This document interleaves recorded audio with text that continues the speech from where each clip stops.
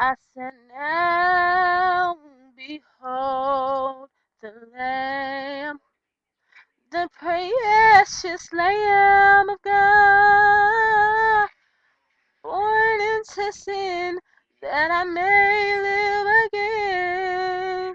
It's the precious Lamb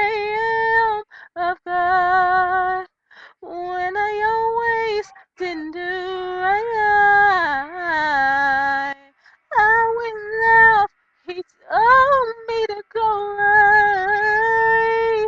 Now I'm standing here in the midst of my tears. Lord,